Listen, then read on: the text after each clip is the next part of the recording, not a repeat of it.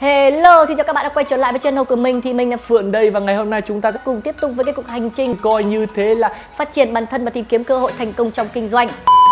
Thì hôm nay chúng ta lại tiếp tục hành trình với cái vlog thứ ba của mình. Sau thời gian khá là bận không thể ra đều được video thì ngày hôm nay mình sẽ cố gắng dành thời gian để làm video này. Và để không dài dòng gì nữa thì mình là Phượng và đây là Và chủ đề video ngày hôm nay chúng ta sẽ nói về vấn đề 90% các bạn đều hiểu sai về vấn đề vốn trong kinh doanh. Và hầu như tất cả các bạn đều mắc phải điều này. Đặc biệt là đối với các bạn mới bắt đầu kinh doanh chắc chắn sẽ mắc phải cái điều này. Và thường thì các bạn đều nghĩ vốn chỉ đơn giản là tiền ta có nhiều tiền thì ta mới có thể kinh doanh được. Và không có tiền thì chúng ta chả là, là vấn đề gì cả. Đúng không ạ? Đây là một suy nghĩ hoàn toàn sai và tại sao tôi lại nói như vậy? Thì ok, trong video này tôi sẽ giải thích cho các bạn tại sao vốn không phải chỉ có tiền, mà nó còn đa dạng và phong phú hơn rất là nhiều. Nó bao gồm rất là nhiều thứ. Ví dụ như kiến thức, kỹ năng, con người và nó bao gồm luôn cả việc bạn phải hoàn thiện chính bản thân bạn và nó có hàng ngàn, hàng vạn các yếu tố khác và sau đó mới đến tiền. Trong kinh doanh không phải các bạn chỉ cần bỏ tiền ra là các bạn có thể thu lời về. Nó không hề đơn giản như vậy và nếu đơn giản như vậy thì ai cũng có thể làm được và không bao giờ đến lượt bạn đâu. Và kể cả khi các bạn có rất là nhiều tiền nhưng các bạn không có các yếu tố trên các bạn vẫn gãy như thường. Tin mình đi mình đã từng gặp rất là nhiều trường hợp như vậy và chính bản thân mình cũng đã từng mắc phải cái sai lầm này. Nghe thì có vẻ lý thuyết nhỉ? Vậy thì mình sẽ lấy cho bạn một cái ví dụ để các bạn hình dung dễ hiểu hơn về vấn đề mình đang nói. Bây giờ tôi sẽ lấy cho các bạn một ví dụ. Chúng ta có hai người. Một người tôi tạm gọi là anh A, còn một người thì tôi tạm gọi là anh B. Và cả hai người này đều muốn mở một shop giày online. Anh A thì ảnh có số vốn tầm 10 triệu, còn anh B thì ảnh có số vốn tầm hơn 50 triệu. Nói đến đây thì các bạn cũng có thể thấy được ai có nhiều vốn hơn rồi đúng không? Chắc chắn là anh B sẽ nhiều vốn hơn anh A rồi. Uhm, mà cũng chưa chắc đâu nha. Và bây giờ tôi sẽ làm một cái bản tính của hai người để cho các bạn có thể có cái nhìn tổng quát hơn nha. À, để mở một shop giày online, chúng ta cần một nơi để chứa store giày, hình ảnh về các đôi giày đúng không nào? Vậy ta sẽ phải cần đến một website, một fanpage hoặc là một kênh YouTube về store giày để bán hàng. Và ở đây thì tôi sẽ chỉ nói đến website thôi. Với anh A thì anh ấy là một người rất ham học hỏi, chịu tìm tòi, nên là anh tự xây dựng cho mình một cái trang web luôn. Và ảnh chỉ mất đâu đó tầm khoảng 700 ngàn cho cái tên miền và cái hosting. Còn anh B á, thì ảnh lười tìm tòi mấy cái rắc rối đó, với lại ảnh có nhiều tiền hơn mà. Nên ảnh cũng mạnh tay đầu tư, bỏ ra 7 triệu đồng để thuê một công ty thiết kế web. Như vậy thì lần đầu tư đầu tiên này, anh A đã chi hết 700 ngàn và tổng số tiền anh còn lại là 9 triệu ba đúng không? Và anh B thì từ 50 triệu, còn 43 triệu. Và bây giờ chúng ta sẽ qua lần đầu tư thứ hai, đó là nhập giày về để bán. Anh B quyết định chi ra tầm 30 triệu nhập giày, giá trung bình của một đôi là khoảng 300 ngàn. Vậy là với số tiền 30 triệu, anh B đã nhập được khoảng 100 đôi giày và nhà anh B thì chứa đầy giày. Không biết là có bán được hay không, nhưng mà nhìn là đã thấy thích rồi.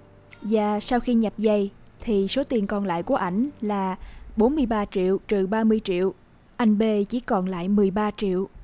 Về phần anh A, ảnh giải quyết vấn đề nhập giày như thế này.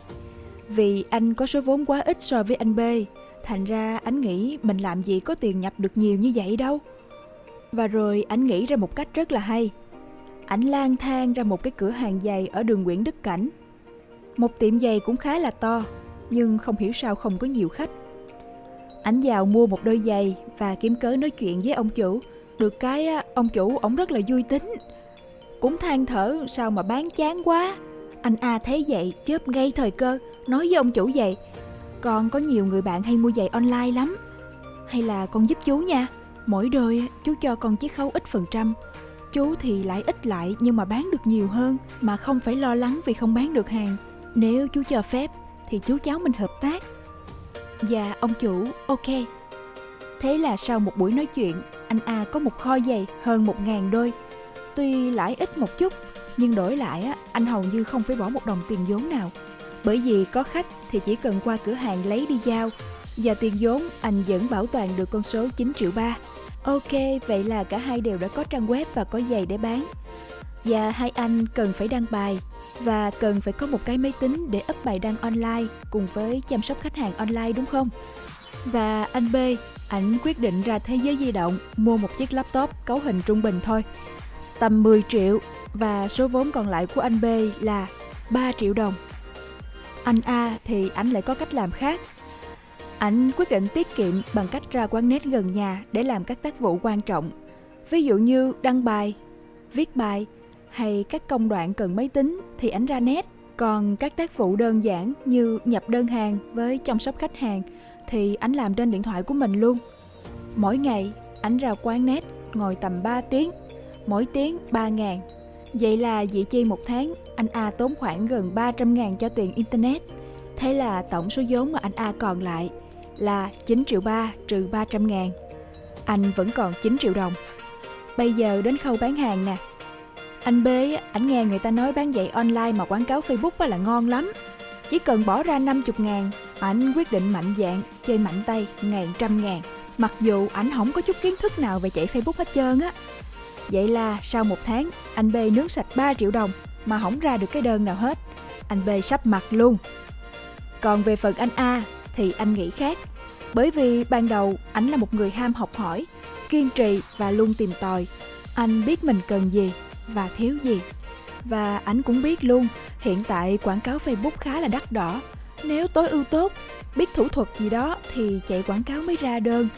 Và rồi anh quyết định chọn một phương thức khác, không tốn tiền hoặc là chi phí rất ít. Ví dụ như xây một kênh YouTube và anh làm video review giày, tư vấn về cách chọn giày, cách bảo quản giày, xu thế mới và thời trang giày, vân vân và vân vân. Cứ một tuần anh ra đều đặn 3 video. Và sau một tháng thì kênh youtube của ảnh cũng có khá khá video rồi. Và dần dần thì kênh của anh cũng có người theo dõi, tìm xem và được lan tỏa có nhiều người vào kênh của anh để xem anh tư vấn. Có một vài người cũng mua giày để ủng hộ anh.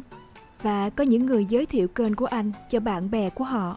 Nhờ kênh youtube này mà càng ngày anh càng nhận được nhiều tin nhắn, cuộc gọi hỏi mua giày mỗi ngày và số đơn hàng của anh tăng dần đều. Vốn anh vẫn bảo toàn 9 triệu bởi vì ảnh đâu có thuê người làm video đâu. Anh tự thầu hết, tự lên nội dung, tự quay và biên tập video hàng ngày.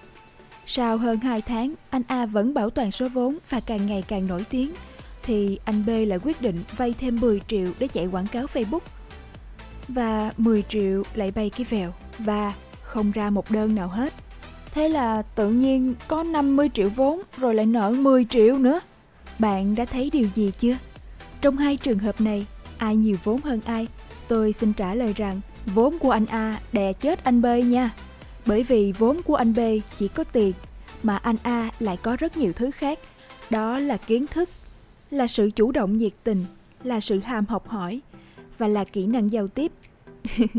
và bây giờ dĩ nhiên là kể cả tiền có thể nói anh A đã dùng những loại vốn khác để lấp đầy những thiếu hụt về tài chính, hạn chế những khoản chi tiêu không cần thiết. Trong khi anh B dùng số vốn là tiền để chi trả cho người làm web, thì anh lại dùng số vốn là kiến thức để làm điều đó. Trong khi anh B dùng số vốn là tiền để nhập kho giày, thì anh A dùng số vốn là sự nhiệt tình, là kỹ năng giao tiếp để đàm phán với ông chủ cửa hàng giày. Trong khi anh B dùng số vốn là tiền để chạy quảng cáo, thì anh A lại dùng số vốn là sự siêng năng, ham học hỏi để cập nhật kiến thức và đi đúng lộ trình bền vững lâu dài. Khi anh B hết vốn, thì anh A vẫn còn rất nhiều vốn chưa dùng tới. Trong khi vốn của anh A ngày càng nhiều. bạn đã hiểu ra vấn đề chưa? Tôi hy vọng với ví dụ này sẽ giúp bạn có cái nhìn rõ hơn, hãy học hỏi nhiều hơn, trải nghiệm nhiều hơn, rèn luyện nhiều hơn vì đó là nguồn vốn vô giá của bạn. Không tiền bạc nào có thể mua được. Ví dụ này được phát trên kênh tôi là phượng.